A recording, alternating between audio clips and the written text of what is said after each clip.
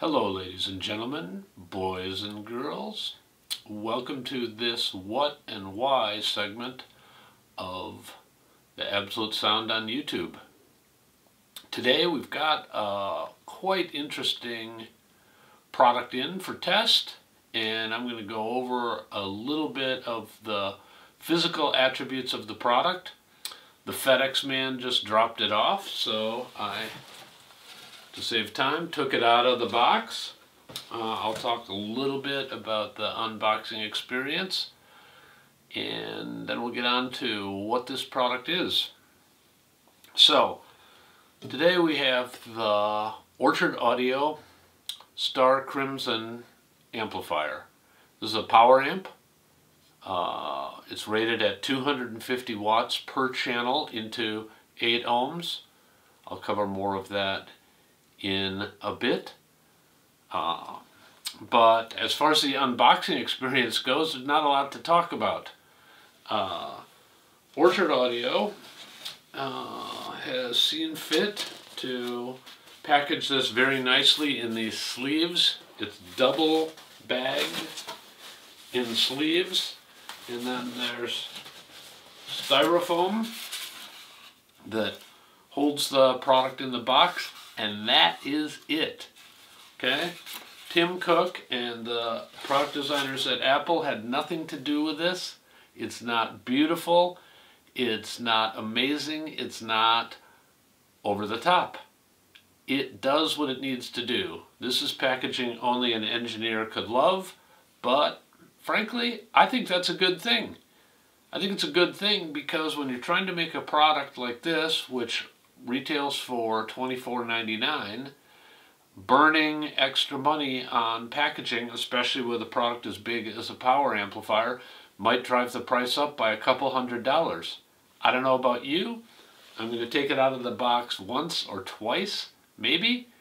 Uh, and I really don't want to spend an extra $200 for a brief moment of Christmas morning. It's just me.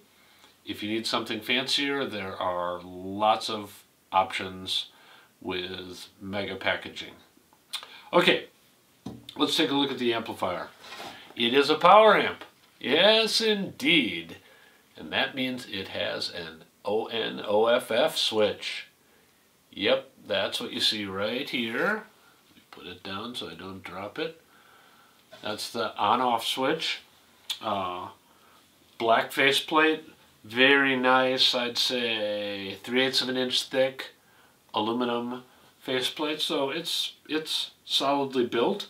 At the same time, I'm not the strongest guy in the world and you know, I can spin it around no problem. So actually, it's kind of a nice thing. Uh, it's cool to have a power amp that weighs 90 pounds and you have to drag around and you can barely pick it up and you drop it on your hands and uh, the heat sinks slice your skin open. Uh, but the attraction of that wears out over time. Uh, having something that can fit easily within your equipment rack and it's easy to move around when you need to do hookups or change cables or something like that, I frankly think is a feature. Okay, uh, what we have here on the back, just so you can see, there's a little more action going on here. We have binding posts, and uh, I specified this one to have uh, XLR balanced inputs you can get it with single-ended RCA inputs, but uh, you can also order it with XLR inputs and use an RCA to XLR adapter. So you're kind of good to go either way. Uh, frankly, I like balanced cables. Uh, we'll talk about that at a different time. So I had it set up with balanced inputs. Now, uh, let's talk about why we're looking at this amp. The Starkrimson is an interesting design that I hypothesize allows Orchard Audio to build a very high quality very high powered amplifier at a pretty reasonable price.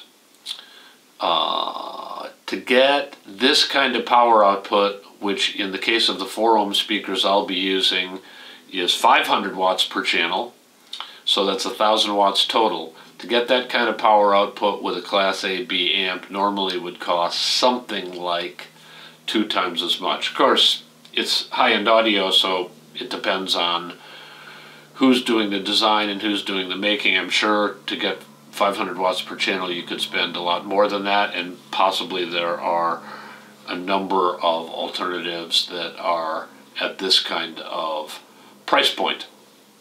But I like the fact since I'm working on a complete system concept that's built around very high value amplifiers, very high value speakers, very high value sources, I like the idea that this fits within that kind of package and that might work for you, might not be what you need. But in this case, I like value, so cool. Uh, as I said, 500 watts per channel into 4 ohms. I specified this as the dual mono extra capacitance power supply setup. So this one actually has a retail price of $34.99. That's to make sure that with uh, low impedance load, uh, I can put out the maximum power without uh, any degradation of the sound other than what the circuit itself does. Which brings us to the other major point about the Starkrimson. The Starkrimson is a Class D amplifier. Yep, that's part of why it's lightweight. But we should ask ourselves, why are Class D amplifiers light? Part of that is because uh, they tend to use switching power supplies, and switching power supplies are inherently lighter. No big chunk of iron in the transformer, for example. Um, but Class D amplifiers also tend to be lighter because of a really important feature, which is that they're very efficient. Class D amplifiers are typically about 80% efficient. That means to get a certain amount of power out, you need about 1.25 that power level going in. Uh, so in this case, we're going to try to produce uh, 1,000 watts total, so we should have a wall outlet capable of 1,250 watts. 1,000 watts times 1.25 is 1,250. Uh, that might sound impressive, that might not sound impressive, but a couple of key points. One, your typical home wall outlet is on a circuit with a 15 amp breaker. We're in the United States, 120 volts times 15 amps is 1800 total watts. Only having a power amplifier that requires 1250 watts means we can run this off of a normal household circuit and still have extra power for the other items that are bound to be part of our system. You're going to have sources. You might have a server or a CD drive and a D to A converter and uh, switches for your network. And frankly, some people like listening in the dark. That's not my deal. I like to have lights. Lights draw power. They're often on the same circuit with your hi-fi at the end of the day, I like to have a little bit of headroom just to be sure I can produce the full power of the amplifier. Uh, okay, so we've got the fact that this is well set up to be a amplifier that can produce its full output.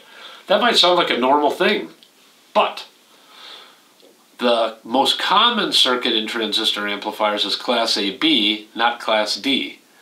Class AB amplifiers are typically more in the range of 50% efficient.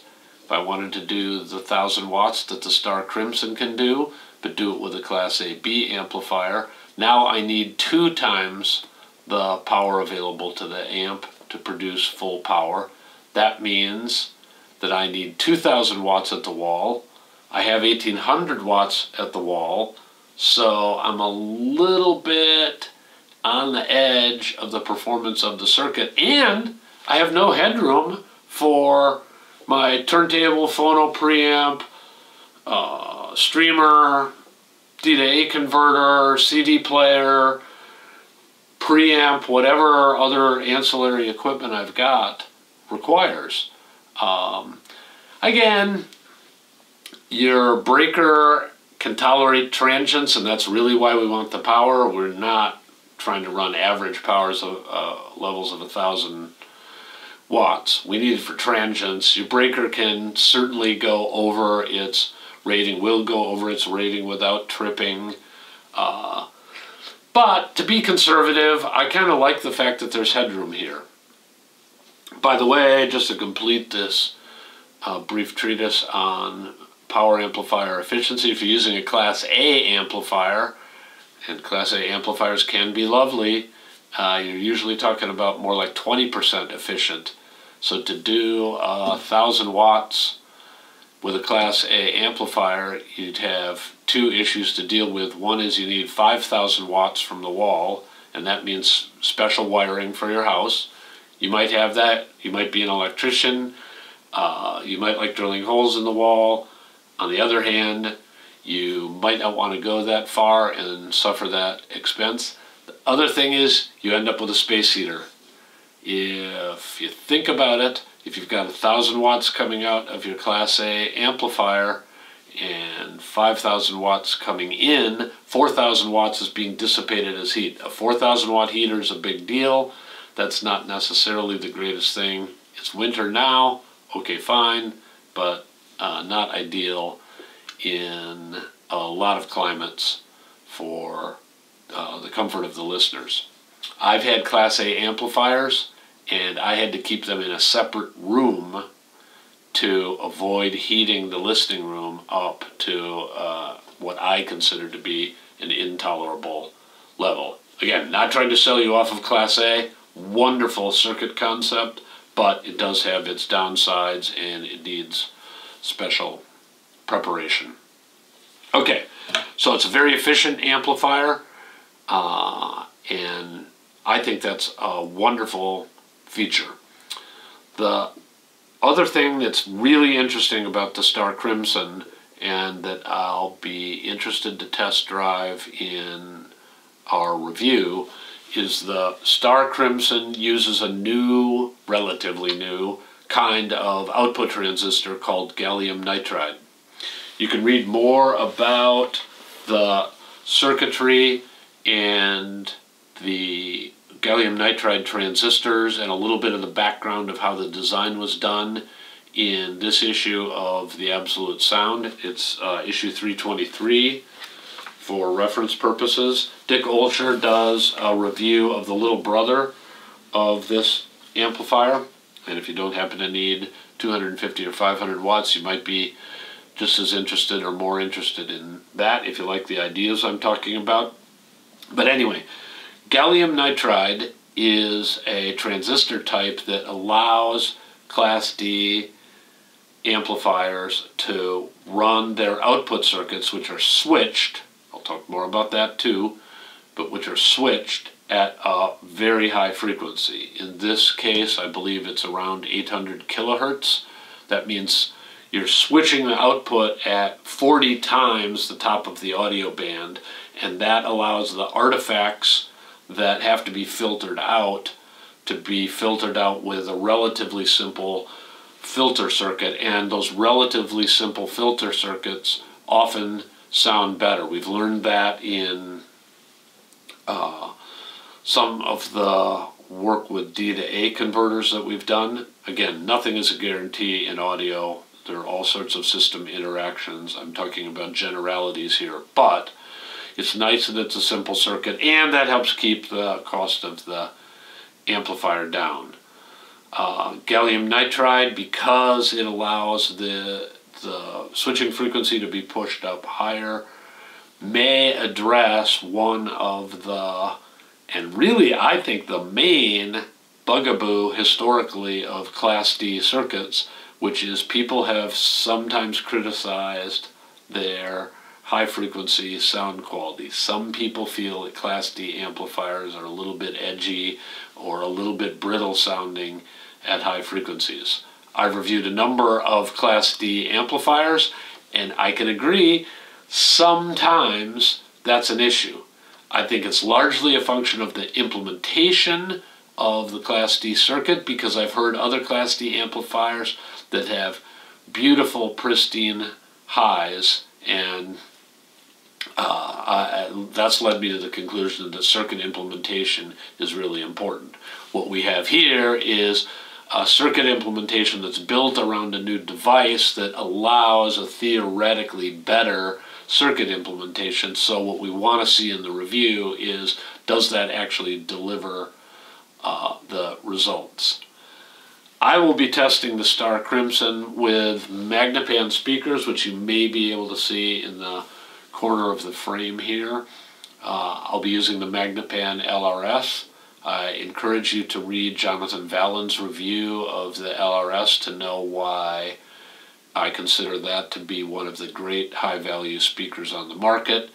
Um, but great as it is, Magnepan speakers have an interesting characteristic, which is they tend to be able to tolerate very high power, and as power goes up, they tend to sound better and better and better. So it's not so much that they're inefficient, they, they're not high efficiency speakers, but it's that they're an interesting combination of, I would say, medium to low efficiency together with the capacity to handle quite a bit of power and therefore they just sound better and better and better as you go up in power level. I've heard demonstrations put on by Magnepan themselves uh, using 2400 watts and with 2400 watts of amplification the sound was superb. Now, in a system, you never completely know what's causing that to be the case. Maybe the Magnepan guys are geniuses at setup. Maybe it happened to be a really good room. Maybe the front end was genius. I, you can't know. But I have to say I've heard lots of Magnepan demonstrations, and this one was outstanding, and I noticed a possible correlation with using very high power on the input side. So I'm excited to see if for, uh, in audiophile terms, a pretty reasonable price, we can come up with a high power amplifier with uh, out the Class D sometimes deficits of uh, high frequency graininess or brittleness or stridency together with the signature Class D benefits of very transparent mid-range and super well controlled tight bass. Uh, I'm waiting for some equipment to arrive that I think will fit well with the Starkrimson uh, and it's the end of the COVID era, we hope, uh, and uh, there are supply chain problems all over the place, so some of the pieces that I need to go with this are uh, on the way. Uh, the particular thing I need is a power cable that fits with this. The product doesn't ship with a power cable. Uh, again, I think that's a very reasonable idea. Why pay for something you're probably not going to use? You're probably going to use an aftermarket power cable that fits with your power distributor or your uh, power conditioner. And I don't want a power cable that's too long. Uh, the thing is basically an antenna, and uh, I'd rather keep it short. Uh, I'd rather keep it short for current delivery purposes, although with 10 gauge wire, I'm not sure, again, that it matters. I'd also rather keep my power cable as short as I can uh, so that I don't end up with a giant rat's nest of you know, one inch diameter cables uh, behind my equipment rack. So I like the fact that I get to pick the cable And uh, in this case, I've done that, and I'm looking forward to it arriving, plugging it into the Starkrimson, and uh, taking a listen on these Magnepan LRSs, which with 100 watts per channel sound really good. So uh, I'm super excited to see what they'll do with 500 watts. All right, that's our what and why on the Orchard Audio Starkrimson. You can visit their website, as I said, check out Dick Olsher's coverage, review of the little brother to this uh, amp, and I'll come back as soon as I can with some first thoughts on how it sounds, and we'll take it from there. Thank you for watching. Hope you've enjoyed this video. Uh, remember to visit theabsolutesound.com for hundreds of reviews of products, and we'll continue to uh, highlight some special products on the Absolute Sound YouTube channel. Have a good day.